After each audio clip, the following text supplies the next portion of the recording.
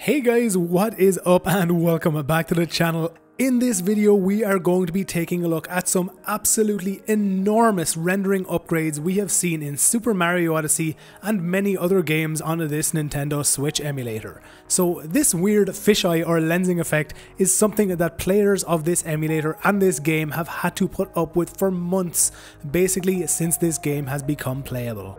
I am happy to announce that in the latest Canary versions of this emulator, you are going to see that this fisheye or lensing effect is completely fixed, giving us an absolutely perfectly and non-distorted game image. These new rendering upgrades have also given us much improved skyboxes as you can see in the skybox right here in Cloud Kingdom. We have also seen massively significant improvements to how many of the sub areas in the games are rendered. Let's take a look at this one right here in Cloud. So once I move up to the center of this platform and look around, you are going to see that this area has seen a massive improvement in render quality. Just look at how well our skybox is rendered. It really is absolutely mind blowing when you look at how well the game is now being rendered, especially so when you get up close and personal with any of the character models. Let's jump across to Sand Kingdom and take a look at some new graphical upgrades we've seen there also. So the first two graphical upgrades we've seen in this kingdom and pretty much every kingdom to be honest is the fact that we now have correctly rendered smoke that comes out of this pipe and you can also see that the reflection in the window of the Odyssey ship is now correctly showing exactly what it's meant to. Taking a look around out into Sand Kingdom, you can see that this window reflection is now showing exactly what it is meant to. So next onto the next major graphical upgrade, they have completely fixed the culling and non-rendering of shadows when you approach them. In previous versions of Yuzu emulator, as you're going to see on screen right now, these shadows would previously not render correctly, especially so when your character approached them. Now this graphical bug with the shadow not being rendered correctly didn't just happen with this shadow of the Odyssey ship, it basically happened with every single major shadow in the game and it was definitely one of the most annoying glitches or bugs that I have come across in any of my testing. Next up, we're going to be jumping across to Cap Kingdom where we're going to be taking a look at even more graphical and render upgrades. So here in Cap Kingdom, you can now see that they have correctly rendered particles in the air. These little shimmering lights and particles are definitely something that was missing from this kingdom. However, the most major upgrade we have seen not just in this kingdom, but in pretty much every kingdom that contains capture mechanics as you'll see when I go to capture this frog, they have now completely fixed the rendering of Mario's dematerialization when he performs a capture. These little upgrades to these kind of rendering effects are definitely huge things, at least for me, because having played the game so much on the Nintendo Switch, these effects being missing just kind of broke the game's immersion for me. Let's move further into Cap Kingdom and take a look at some more rendering upgrades. Before we take a look at one of the more major upgrades in this kingdom, they have also added correct rendering of fire to these torches. Now sometimes, oddly enough, it does seem to disappear when you rotate your camera, but hopefully this can be fixed very, very soon. Moving on to, at least for me, one of the most major rendering upgrades, when we get to the top of Cap Tower, they have now completely fixed the completely broken bloom that was present in this area. In the last build, you can see that this area was completely broken when Mario was standing on it. Thankfully, this is now completely fixed and rendering much, much better. So for the next rendering upgrade, we're going to be taking a look at one of the sub areas right here in Cap Kingdom. This footage right here is of the very last Canary build before this one. You can see just how bad the vertex and fisheye lensing effects are, even when the fisheye effect is not happening on screen. When we transition over to this latest Canary build, you can see just how much of a rendering improvement we've seen in this area. We have absolutely zero graphical errors happening here right now. This sub area and many other sub areas in the game are now perfectly being rendered. One of the best examples of these sub area fixes can be seen right here in this area in Sand Kingdom. You can see just how badly the graphics were broken here. Previously, it was this horrible, horrible flickering and flashing mess. You can also see that the sand in the center of this area is not being rendered correctly and the level just looks wrong. However, when we transition over into this latest Canary build version, you can see just how much of an improvement we have seen.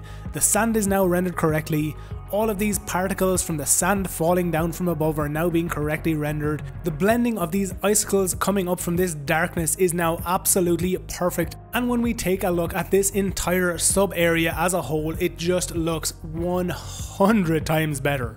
Let's quickly jump over into Lake Kingdom and take a look at these next few graphical upgrades. In order to see these improvements, we're going to need to take a quick dive, so let's just jump into the water and get Mario below the surface. Once here, you can clearly see that all of these colourful fish are now being properly rendered, even though on the Nintendo Switch they are supposed to be moving, hopefully this will also be fixed in Yuzu soon.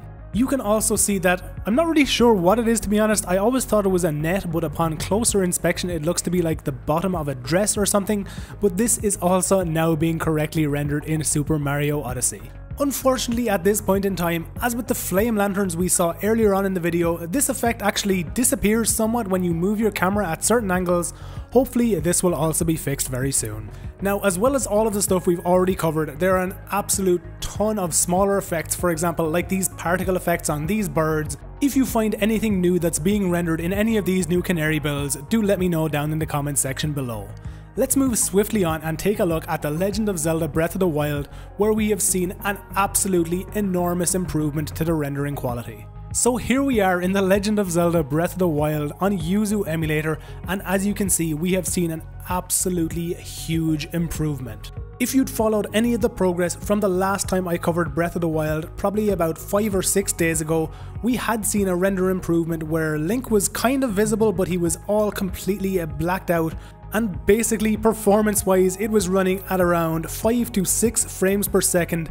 However, right here in Hyrule Castle, pretty much the most demanding area of the entire game, we're running at anywhere between around 8 and 15 frames per second and even though the render quality isn't exactly perfect, this is mainly due to the fact that the shadows are just completely broken. When we pause our game and come into the menus, you can see that all of the models and all of these different icons are now being absolutely perfectly rendered and navigation through these menus is also now absolutely perfect. Performance wise in these menus at least, we get anywhere between around 20 and 30 frames per second.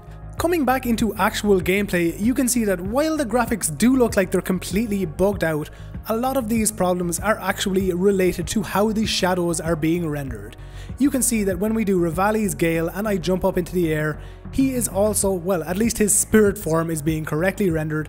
And when we paraglide over here towards the Sanctum where the final boss battle would happen in this game, you can also see that once the shadows are not being rendered in a selected area, that area doesn't actually look too bad at all. Hopefully when we get these shadows fixed, this game will be rendering and in a much, much more playable state.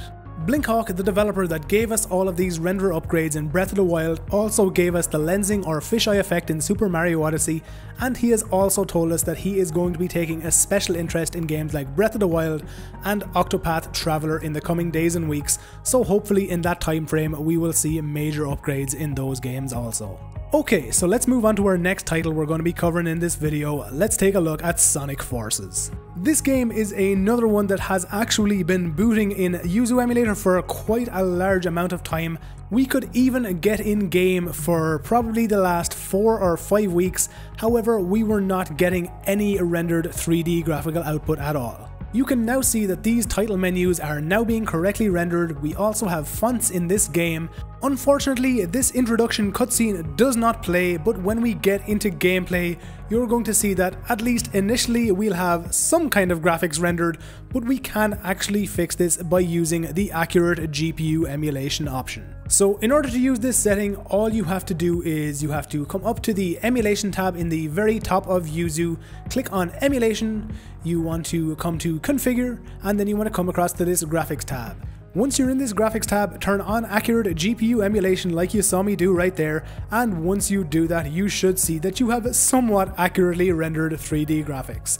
Obviously, it's not perfect since this is the first time that this game has ever shown 3D graphics, but to be honest, especially since we're using accurate GPU emulation and this option usually absolutely destroys your performance, and when you consider that we are running the game at anywhere between around 15 and 20 frames per second, it's actually not too bad, especially as I said for the first time booting this game. So as I always say at the ends of these videos guys, if you want to help with the development of this Switch emulator, please, please do head on over to their Patreon page and pledge to support them. You'll find a link to that down in the description of this video. I think we can all agree that with the absolutely mind-blowing progress we have seen in the past few weeks and months, this emulator and its developers most definitely deserve our support. So once again guys, cheers for checking out this video, remember to like it if you liked it, dislike it if you didn't, and as always, subscribe to the channel if you want to see all